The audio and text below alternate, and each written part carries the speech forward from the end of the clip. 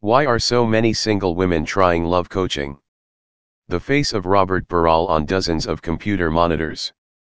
The love coaching industry is growing every year, thanks partly to rising number of 30-something women in search of a partner. Coaches often promise they'll ensure clients find a man, when there can never be any guarantee, but sometimes it seems they do succeed in making single people happier. I want to tell you some of the mistakes you make, Robert Burale booms as he jumps across the stage, to pulsing music played by a DJ. Are you ready for this? He asks the room. There are muted embarrassed murmurs. Are you ready for this? Yes. Then Robert, who has been moving constantly throughout his speech, suddenly comes to an abrupt halt in the center of the stage, microphone in one hand, his other free to point at the audience. You ladies make a mistake by giving a man husband privileges at the boyfriend stage, he yells. Men are hunters. The moment a lion captures your neck and you bleed to death, he starts looking for another prey. So please. No ringy. He flexes his hips, no thingy. The women laugh, nodding. Some clap. Robert Burale is a love coach, and this event, called Dear Woman, is targeted at single women hoping to settle down, to find a husband.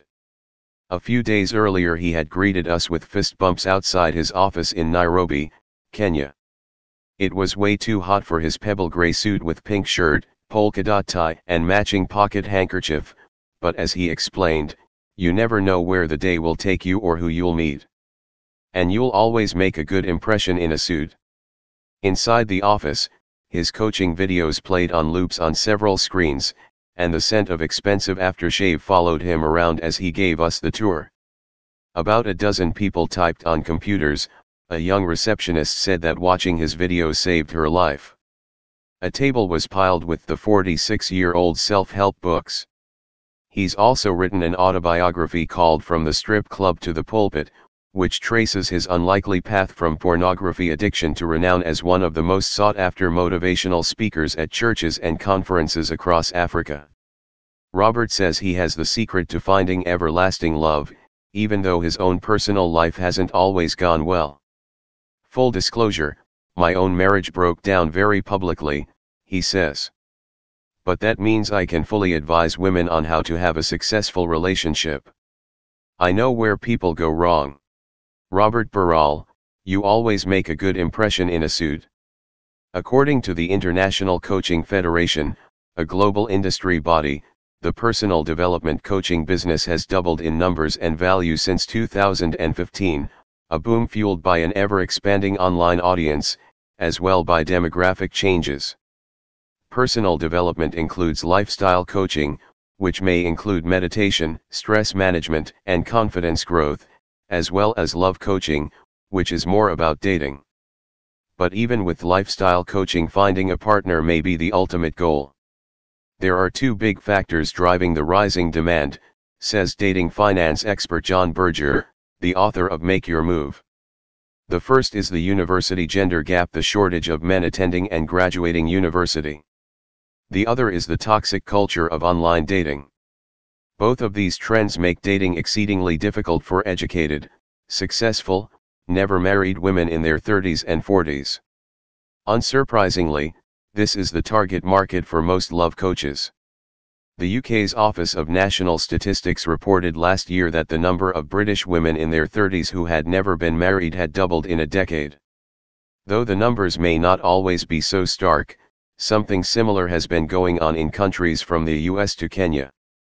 One-on-one coaching with dating experts can cost up to $8,000 a month according to Jon Birger, while the International Coaching Federation says the worldwide personal development coaching industry is now worth about $13 billion per year. Short presentational gray line. The day before the Dear Woman event Mary's neighbors are giving their six-day-old baby girl a bath in a plastic tub on the porch, cooing to the infant who squints back confusedly. Mary smiles over at them. She'd like a baby. Mary is 35 and unmarried, in a country where the average age for marriage is 21 in cities, and, and 19 in rural areas, according to the World Bank. Three of her five younger sisters have already married. Most pressure comes from your family, your parents, your grandparents, your uncles, aunts, she says. They ask her constantly why she's single. I want to know, what am I doing wrong, Mary says. But does the fact that she is single really mean that she is doing something wrong, we ask. Couldn't there be other factors? Or could it be that meeting the right person is a matter of chance? I don't know. A lot of people tell me I'm choosy. I don't know if I'm choosy or not. I don't know, she says. Mary works in a call center, and Robert Burale's Dear Woman course will cost $50, a week's salary. She's not sure it will work, whether the investment will bag her a husband, but she's up for it anyway. It's worth a try, I would say. Short presentational gray line. Matthew Hussey is a global coaching star, author of the New York Times bestseller Get the Guy. A video on his YouTube channel, with 2.2 million subscribers, titled Three Man Melting Phrases That Make a Guy Fall for You has chalked up over 18 million hits. An in-person booking at one of his lifestyle coaching retreats can cost several thousand dollars. Even a virtual retreat is $800. We speak to one woman who says she is planning to pay for a forthcoming Matthew Hussey event in order to heal after a particularly bad breakup. So we put it to him that people may come to him at vulnerable stages of their life, and he sells them a dream.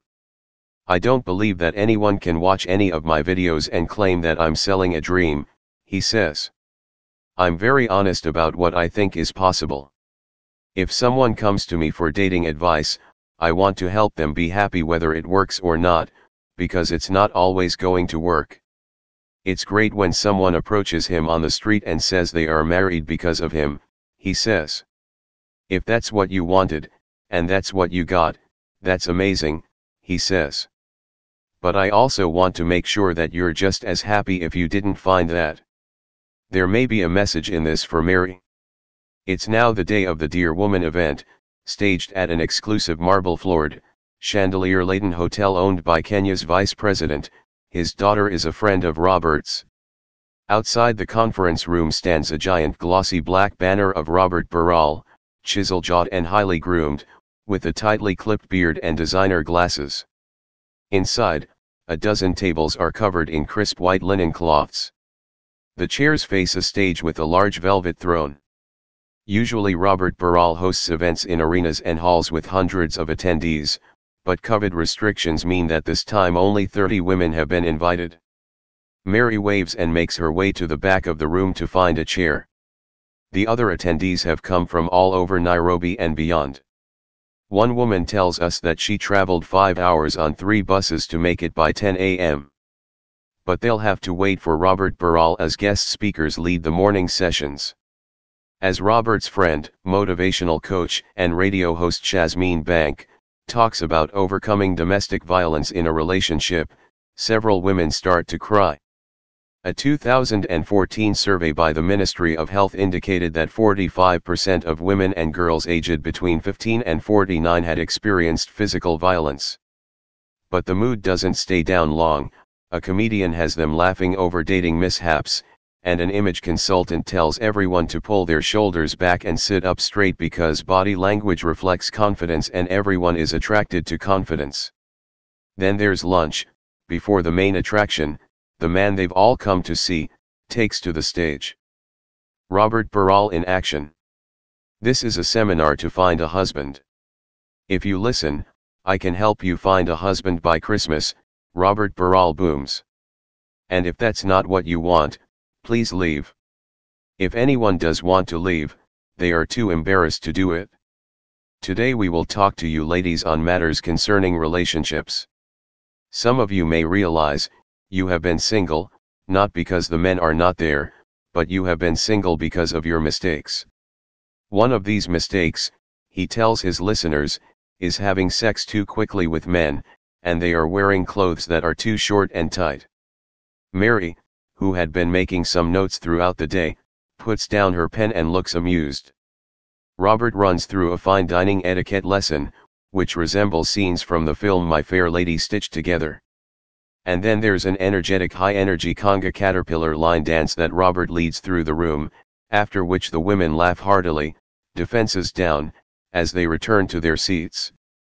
Robert says he will be choosing some women to come on stage to discuss how they have come to be single. Mary is one. Why is she single? he asks. There was a guy back home where she grew up, Mary replies. He was very hot. When I say hot, he was hot, six pack, good looking, everything. Mary laughs, looking out to an audience that readily joins in. We dated for about one and a half years. Then he got a job in Nairobi. When he got a job in Nairobi, we communicated for at least three months. After that three months, communication went, poof. Dead. Mary was being ghosted by the man she thought she would marry. So when I called him to inquire what was happening, this guy told me you know what? My lifestyle has changed. My class has changed. Mary pauses. Robert picks up. He made you feel lower. Very low, Mary replies. That guy lowered my self-esteem to a point that sometimes. She starts to cry. It's hard, she says finally. I felt like I was not enough. She says she hasn't seriously dated since that relationship ended in 2012. Robert starts talking again, this time his voice quieter, soothing. He tells her that it's not her fault, that even if it feels messy, she has to be open to love. It may sound obvious, just what your best friend would tell you after a breakup, but after a six hour day of congas and comedians, Mary nods like it's the gospel itself.